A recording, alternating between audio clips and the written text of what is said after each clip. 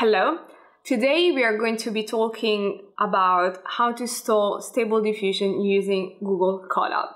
Stable Diffusion is a generative model mainly used for image generation and video generation and can be used for free by anyone. I already made a video on how to store Stable Diffusion on Mac locally, but Stable Diffusion is computationally expensive, so sometimes can be very slow.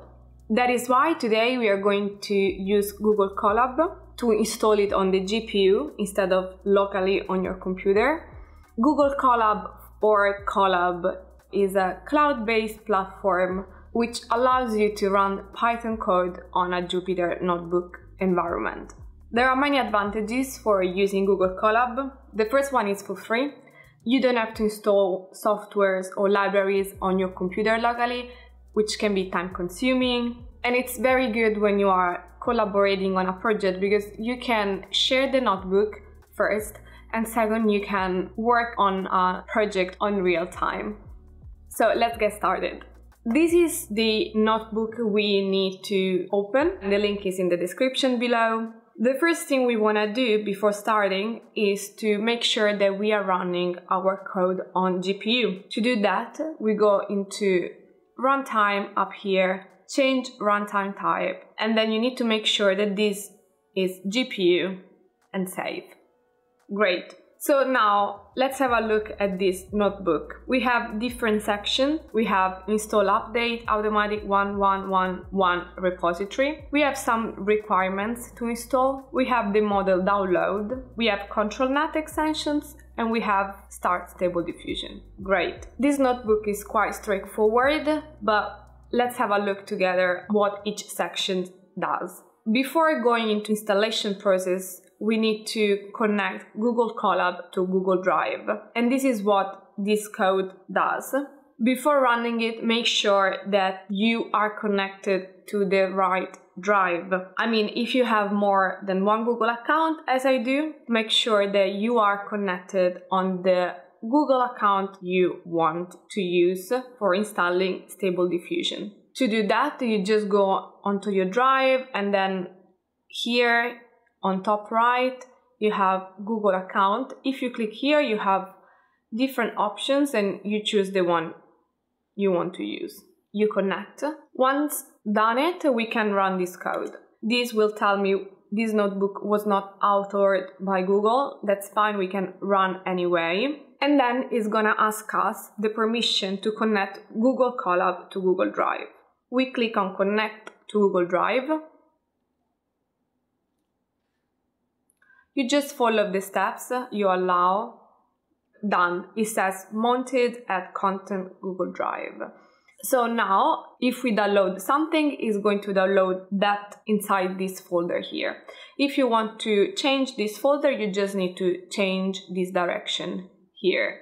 Then the next step is to install or update in case you have it already automatic 1111 repository.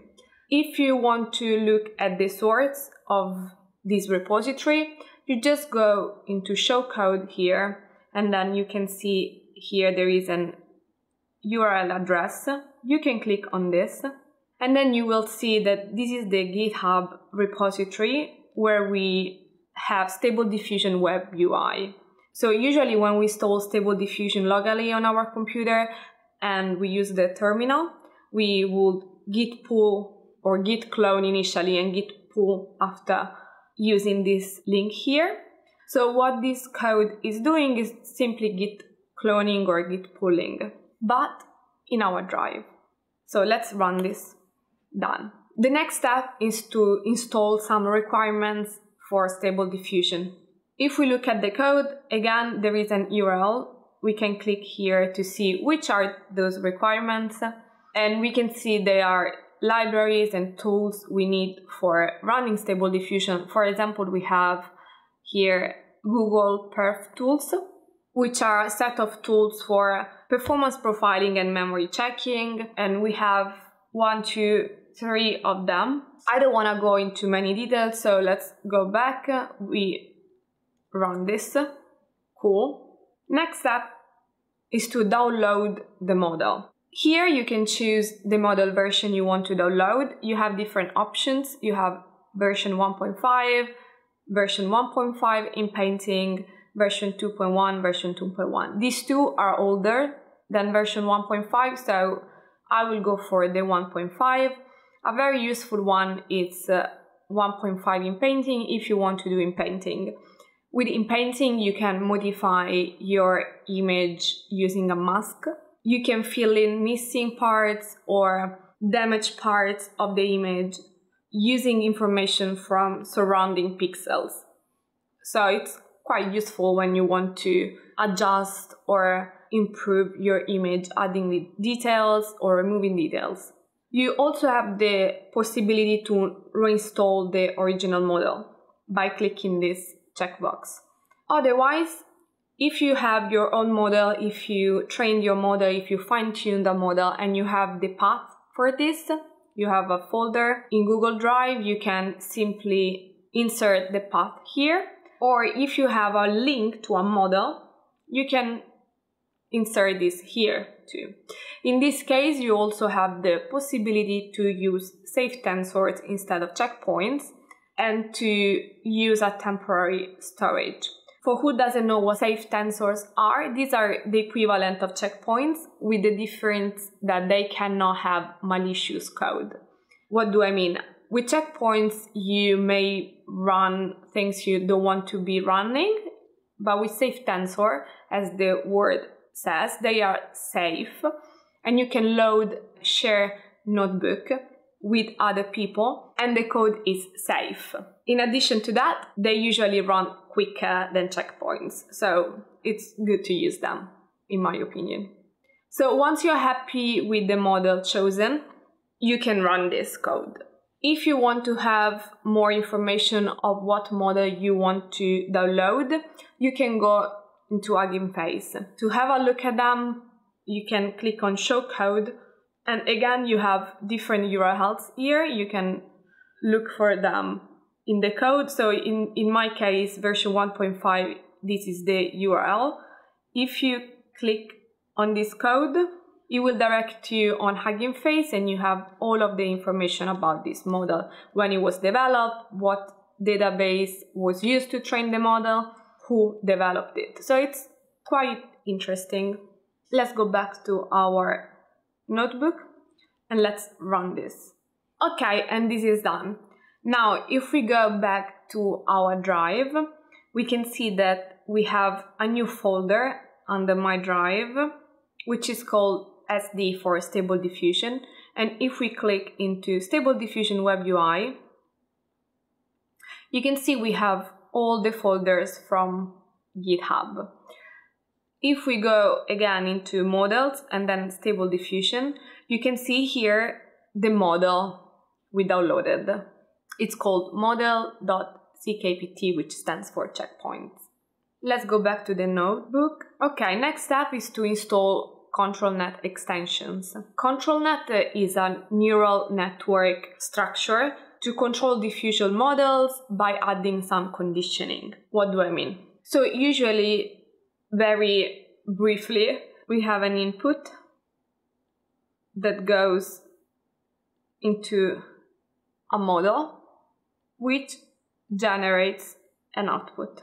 Now, in the case of a diffusion model, in particular in the case of a text to image, the input will be the text, so the description, the prompt. The output will be the image, which is based on the prompt. So we have, and we have image here. Now, with ControlNet extension, what we do, we add an additional input in the model. So we'll have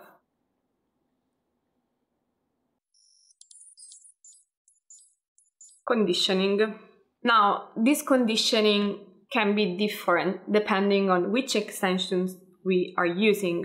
There are different type of extensions. A very common one is Scribble. With Scribble, we input inside the model a sketch of an image, and then the model will generate an image more realistic of that sketch. For example, if I have the sketch of a cat face, we can probably make one quickly.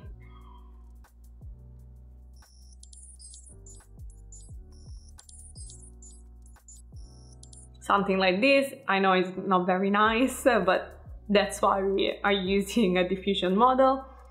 And we input this picture inside the model, that the model may generate something nice based on the sketch, something like this lovely cat. Cool, so if we go back to our notebook, we can see here a different type of control net extensions. I'm not gonna go into that on all of them, but I think it will be useful to, to know what they are. Maybe I can make another video to explain each of them. So for now, I'm going to install all of them. So let's run this. Okay, done. And now the final step is to install Stable Diffusion.